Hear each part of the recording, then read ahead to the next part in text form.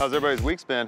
Y'all have some sex talks this week? Dr. Pia visit y'all? Yeah, I mean, it's no secret about us. You guys know that. Home runs. I was about to say, you, uh, I mean, the conversation was good, but it was just about Nicole has some like self-worth issues. I really need to do a lot of personal work because, you know, it just came to light that I have all this work to do and there's really not much he can do in terms of helping because it is so internal, but I need him to, you know, if he sees me looking upset, instead of saying like, when you're ready to talk about it, I need him to be like, talk to me. Because I feel like, I hate to say it, but he's almost too respectful.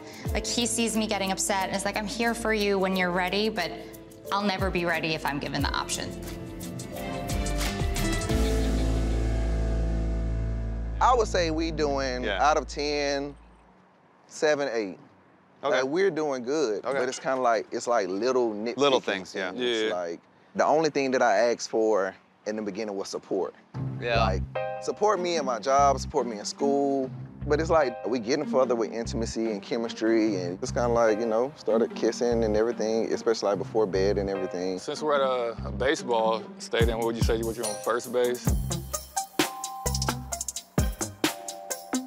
Second base, trying to get the third, you know, yeah.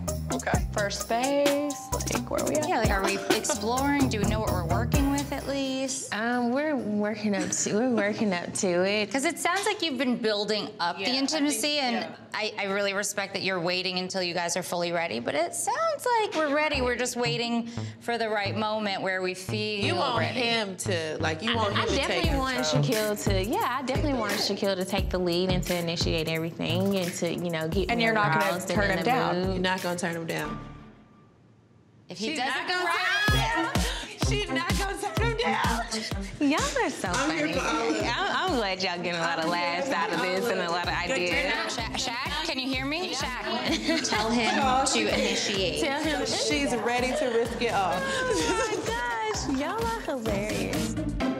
Oh, man. I mean, with baseball analogies, I'd say we're not even in the dugout, man. We're not even in the stadium. You guys Uh, waiting in line to get in? Yeah. Um, Same. yeah, it's it's um it's in it's an interesting place to be in because I'm just I'm a sexual dude and that's how I connect on another level with Yeah. somebody, you know. So I'm trying to work through like, you know, intimacy exercises, you know, and I'm trying to keep an open mind. I'm not trying to have a predetermined outcome. It's just like I'm gonna try it and see if it changes my outlook on things, change my Yeah. perspective. we have to start building some sort of intimacy just to figure out if we can sustain any type of healthy marriage. Like at the end of the day, we're not quitters and we're trying so hard. And I'm like, I just want it to be there. Right.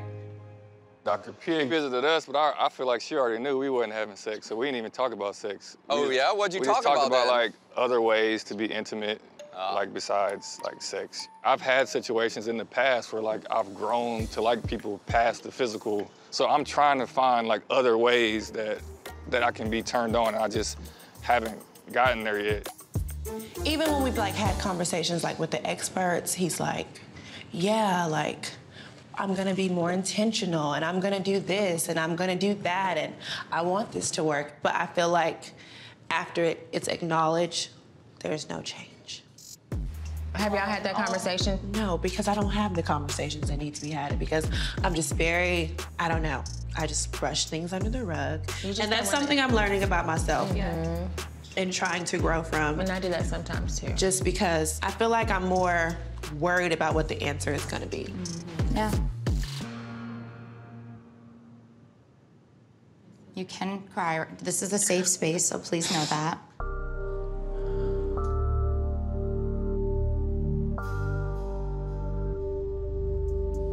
I think I'm just at a point where I'm at my breaking point. Yeah, and I understand that because I know how bad you want to be married, you know, and I know how bad you want things to work out and you want to be a wife. So I can understand how difficult this can be for you, and I'm sorry. My heart is breaking for Jasmine. I mean, she is a wonderful, beautiful person inside and out. And she went into this with the most open mind, wanting to be a wife, ready to be a wife. And she is an incredible wife. And it just breaks my heart that she's not getting what she needs in return. I'm about to cry again.